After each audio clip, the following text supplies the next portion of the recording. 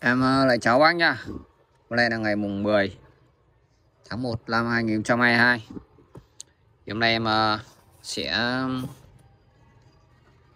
cho mấy cây cây này ra ngoài để cho nó béo. Sang năm mình làm mầm gốc. Mấy hôm nữa thôi chứ không phải sang năm. Nhưng mà những cây ờ, cây mà nó đi ngọn đến tầm này nó vẫn chưa dừng, mà chưa có béo thì chắc là nó sẽ mình sẽ làm ở gốc nó sẽ hơi muộn một chút so với những cây cây khác. Thì mình uh, sẽ cho nó ra ngoài như thế nào để đảm bảo cho quá trình cây nó không, không bị uh, sốc nhiệt. Thực ra nó sốc nhiệt cũng chả sao cả tại vì nó sốc nhiệt thì nó mới thắt ngọn.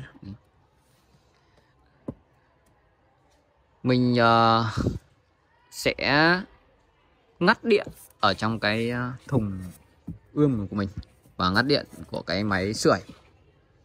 Mình sẽ ngắt điện trong vòng khoảng 3 ngày sau đó mình sẽ mang ra ngoài môi trường để mình à, chăm cây. Thì uh, lúc ban đầu nó như này đây là cái uh, thùng mà em uh, đã thiết kế nó là như này. Mình uh, đầu tiên ngày đầu tiên mình ngắt điện thì mình sẽ phải hở lắp ra tương đối như này. Đấy, để cho không khí bên ngoài nó lọt vào và giúp cái cây nó thích nghi dần với cái môi trường. Đến ngày thứ hai thì mình có thể là bỏ hoàn toàn cái lắp này ra. Ngày thứ ba cũng vậy mình sẽ bỏ cái lắp này ra như như vậy để cho nó có không khí ở bên ngoài. Và vào buổi tối vào cái quãng thời gian mà nó vẫn còn uh, lạnh ví dụ là sang năm các bác ươm ti mà muốn cho nó ra ngoài ngoài môi trường mình cũng làm tương tự như vậy thì vào buổi tối cái thời gian mà nó vẫn còn lạnh ấy, thì mình vẫn tiến hành là đậy lắp vào. Vào buổi sáng thì mình mới cho ra ngoài. Cái này là cây này của em nó khá là dài rồi. Hôm nay em sẽ cho ra ngoài. Và cái lá cây mà người nhìn nó ăn quá nhiều đạm nó bị như này. Đấy. ăn nhiều đạm người nhỉ? Đạm vô cơ đấy thì uh, để tránh cái cái tình trạng này các bác cũng phun cho nó một lần cái uh, Vika mắc hoặc là cái uh, can pin nhật để cho nó tăng cái diệp lục ở đây. Nhưng mà mình muốn nó thắt ngọn thì cũng chẳng cần. Bây giờ em cho ra ngoài tại vì hôm nay là đạp đảm bảo được được 3 ngày rồi. Và em ờ, sẽ tiến hành thay cho nó cái chậu mới luôn những cái cây ờ, ở trong này tí em cho ra ngoài.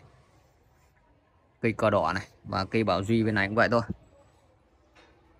Cây này của em nó được hai mấy sen rồi rất là dài rồi. Mỡ lắm. Mấy tầm 23 sen 23 25 sen rồi. À, phê. Thì mình cho ra ngoài như vậy rồi tối có còn phải là cho vào nữa không? Thì đến thời điểm này thì mình cho ra ngoài là là thôi đấy. À, tối mình kệ nó. Để nó lạnh thì nó mới béo được còn đồ nóng thì nó khó béo cây lắm.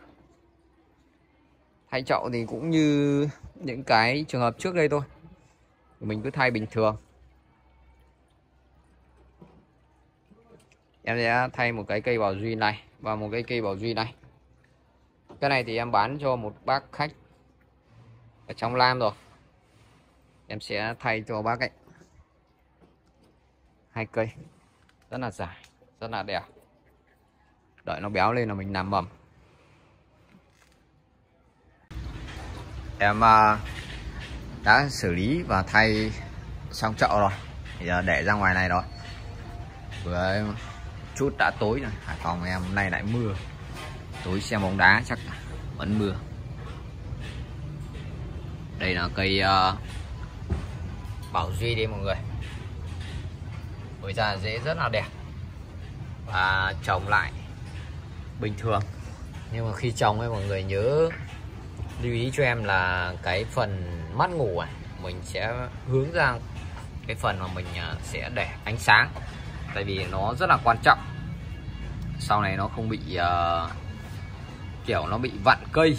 Nếu như mình à, hướng cho nó ngay từ đầu về phần uh, ánh sáng không cho lên cho vào phần cọc cây này rất là là dài rồi rất là phê. Thì hy vọng là ra ngoài nó sẽ béo và thắt ngọn luôn. Thì mình sẽ kịp làm mầm gốc. Còn uh, cái cây bảo duy mà em thay cho khách đây Đấy, mọi người nhìn em trồng lúc nào cũng phần à, uh, mắt gốc này. Nó phải hướng ra ngoài cây này thì em bán cho người ta rồi. Thì bây giờ là mình uh, chăm cho đến ra riêng. Thì uh, em sẽ gửi cây. Tại vì uh, Tết là bác ấy uh, hơi bận. Không có thời gian. Nên là nhờ em chăm lại đến ra riêng. Còn bên này là cây cờ đỏ. Em cũng đã cho ra ngoài.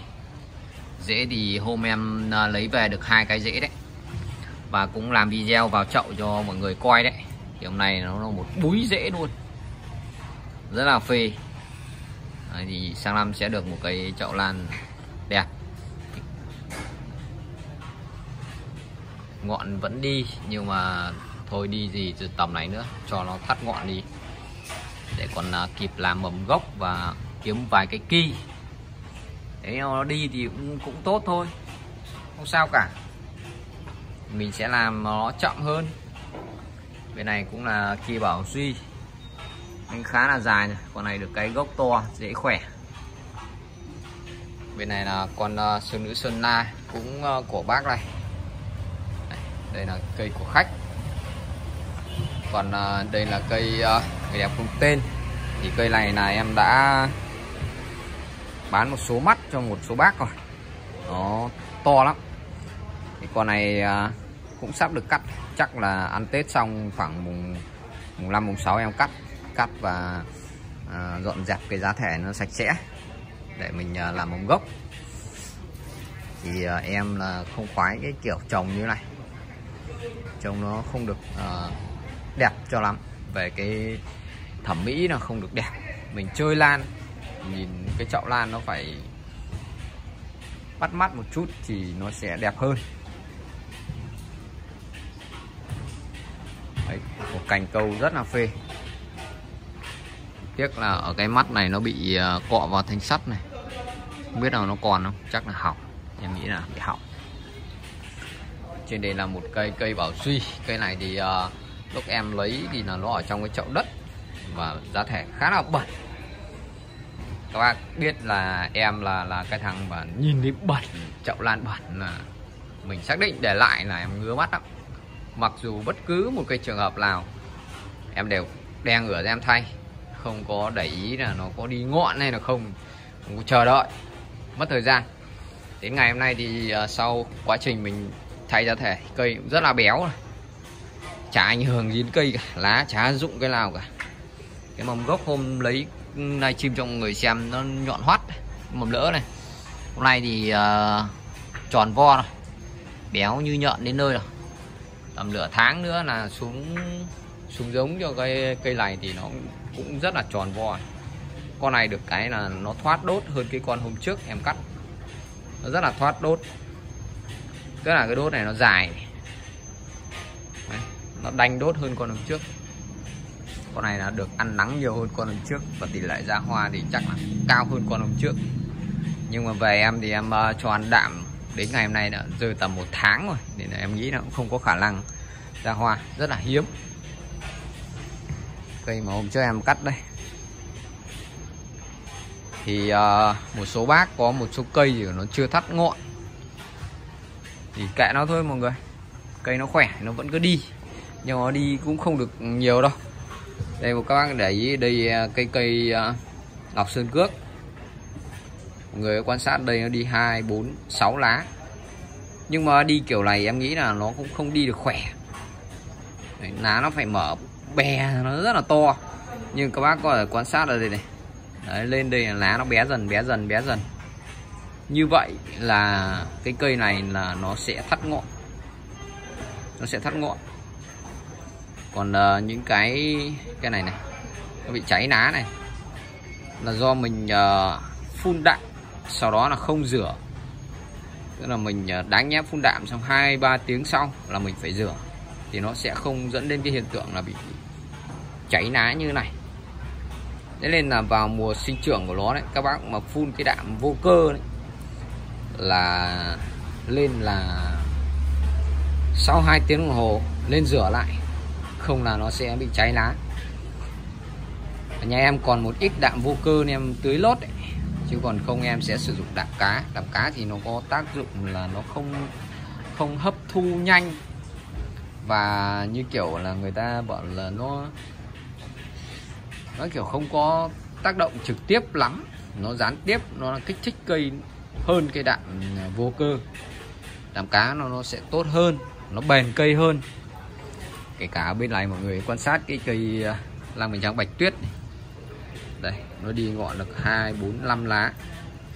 Nhưng mà đi kiểu này thì nó cũng rất dễ là thắt ngọn thôi mặc dù là cái lá này nó lên càng lên nó vẫn cứ càng to đấy nhưng mà nó cũng dễ thắt ngọn thắt ngọn cũng được rồi không sao. Cây khá là dài rồi. 8 90 cm rồi thắt ngọn được rồi. Trồng ờ, rất là đẹp. Giờ em là sĩ Hải Phòng nhé chúc cô chú chị uh, chăm lan thành công ra kỳ ra mầm, khỏi cái thùng ươm, không bị ờ, ảnh hưởng gì cả. Hẹn ờ, cô chú chị cái video lần sau.